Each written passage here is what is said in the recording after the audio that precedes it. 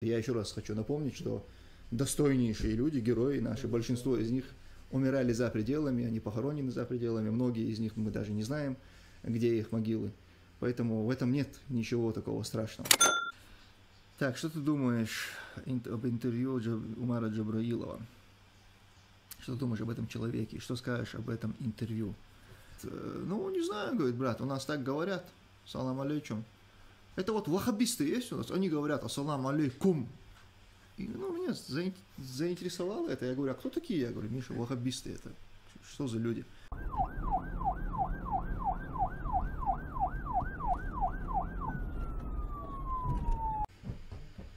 В прошлом эфире ты говорил, что для тебя имеет сакральное значение возвращение на родину. Так ради чего ты ведешь борьбу с нынешней властью?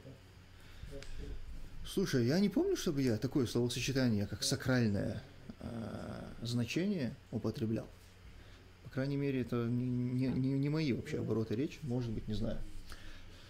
А, что-то подобное, может быть, я и говорил. Но, как бы там ни было, в возможность вернуться домой, она, конечно, очень важна. И, и в целом это, это желание, оно понятно. Когда ты не, не когда твой уезд из своего дома, там, из, со своей родины, это не какое-то обдуманное решение, к которому ты пришел э, из-за там каких-то своих размышлений, ты к этому готовился и принял решение, что ты хочешь, типа, совершить хиджру, э, переехать с концами куда-то в другое место. То есть так, когда так человек переезжает, то ну, навряд ли он будет стремиться к тому, чтобы вернуться. Но в нашей ситуации, когда ты внезапно просто там из-за обстоятельств, произошедших с тобой, ты вынужден был просто э, выехать, убегать, и тем более, если ты еще и убегал не, ну, без осознания того, что ты уезжаешь там, на долгое время, ты собирался буквально решить там какие-то свои проблемы и вернуться, то в этой ситуации ты постоянно находишься в таком состоянии э, стремления вернуться. И вот я и многие, наверное, большинство из, из людей, которые уехали, они, наверное, находятся тоже в таком состоянии. Поэтому, да, это постоянное такое желание, мы хотим вернуться, это цель. В прошлом эфире я просто говорил, что, это, что эта цель не является какой-то, а, то есть какой-то победной. Если ты не вернулся, то ты не победил, такого нет. Но если не получится вернуться на нашем веку, ну, значит, такова судьба в этом нет ничего страшного. Я, кстати, вот это к, к предыдущей теме тоже подходит. Вы поймите, что мы даже за пределами, мы вполне нормально себя чувствуем, вполне достойно живем. И от того, что мы не вернемся домой, если у нас не получится, если, мы, если смерть настигнет нас здесь, от, ну, от, мы не будем сильно а, этим огорчены. То есть в этом нет какой-то как раз таки в этом и нет какой-то сакральности. Посмотрите, я, я призываю как раз таки к тому, чтобы посмотрели, как здесь живут чеченцы, уехавшие. А, они живут очень достойно. Эти люди работают на хороших э, работах, имеют какие-то таланты, свои какие-то стартапы, свои идеи. Они, они ездят на хороших машинах, они работают на хороших работах, они прекрасно одеваются, они обеспеченные, образованные. То есть э, в религиозном плане, в каком-то ином плане, во всех отношениях здесь э, очень, очень хорошие, достойные люди.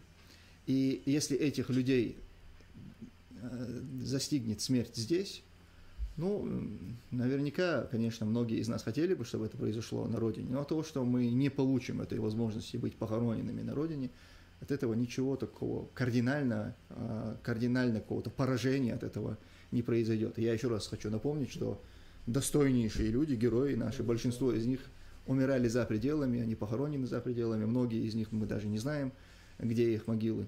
Поэтому в этом нет ничего такого страшного.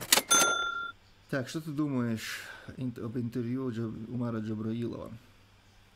Что ты думаешь об этом человеке? Что скажешь об этом интервью?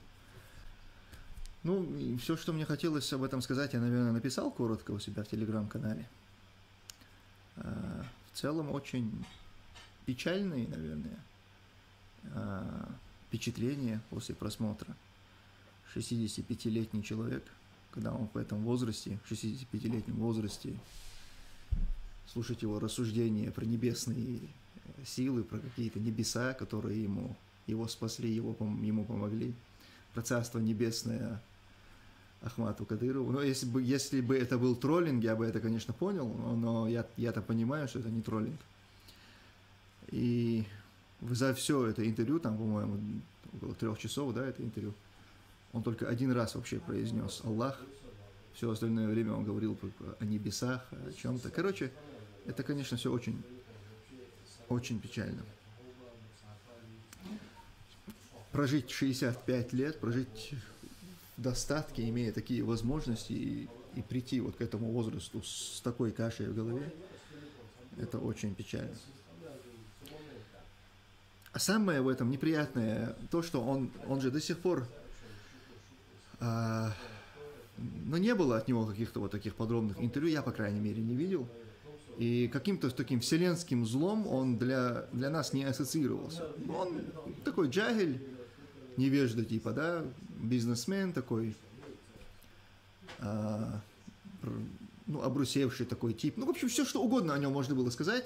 Но вот самое неприятное, что ты мог о нем сказать, это вот, что типа обрусел, там, ну, джагель, какой-то там образ жизни развратный, ну, там, типа наркоман. Но это такие личные какие-то его моменты, но не, на нем не было крови, он не был известен тем, что он там а, какой-то душегуб, что он как-то боролся там с со сторонниками нашей свободы, там, что у него были какие-то религиозные какие-то там претензии, ничего такого не было. И тут на, он дает это интервью, и там начинает, и там он несколько раз говорит, что он там боролся с ваххабизмом.